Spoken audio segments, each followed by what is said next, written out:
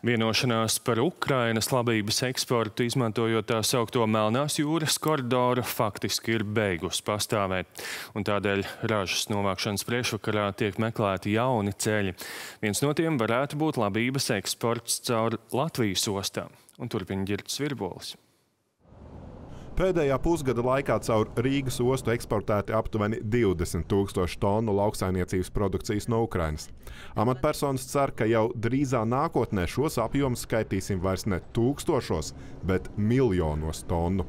Par to, kā palielināt Ukraiņas tranzīta apjomus caur Latviju, šodien tikšanās laikā sprieda satiksmes ministrs Jānis Vitsenbergs un Ukraiņas vēstnieks Latvijā Anatolijas Kucevols. Sakarā ar pēdējiem eh, notikumiem, kas saistīti ar eh, Melnās jūras šo koridoru, kur eh, Ukraiņas iespēja eksportēt graudus ir stipri samazinājusies, būtībā apstājusies, ja mēs redzam, ka ar trīs lielajām Latvijas ostām arī lietuvieši ar Klaipēdas ostu ir gatavi nākt palīgā, un tas apjoms, ko mēs spētu piedāvāt, ir šobrīd 15 miljonu tonnas, ja, trīs lielajās ostās ar iespēju ļoti strauji arī šo apjomu pieaudzēt.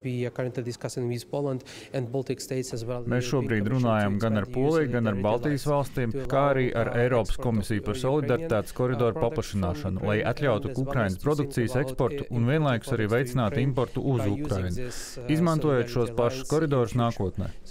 Latvijas ostu kapacitāte ļautu apstrādāt šādus labības apjomus, pārliecināts ministrs. Galvenā problēma ir, kā nogādāt graudus no Ukrainas līdz Latvijai. Ar kravas automašīnām šādu daudzumu pārvadāt nav reāli, bet dzelzceļa infrastruktūra nav gatava maršrutam Ukraina-Latvija caur Poliju. Mums nav vienāds eh, dzelzceļa platums ar eh, Poliju ja, un eh, no Ukrainas, lai graudus varētu transportēt ar Poliju. Tādēļ uz Polijas-Lietuvas robežas graudi jāpārkrauj citos vilcienos, un tas veido sastrēgumus.